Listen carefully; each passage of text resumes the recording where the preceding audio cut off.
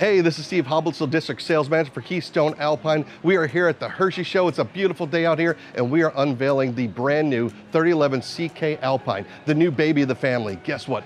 Brand new graphics package inside outside, brand new tires with Sailun on the outside as well, the road armor suspension, it goes on and on. So many features, I can't even listen in the short video. Really cool thing about this, it's 34 feet 11 inches. That's right, state and national park friendly. You guys are gonna love this, but features inside, it's bigger, doesn't feel like the little baby of the family. Tall slides, wide body, dual 15K ACs, even standard electric heat pump.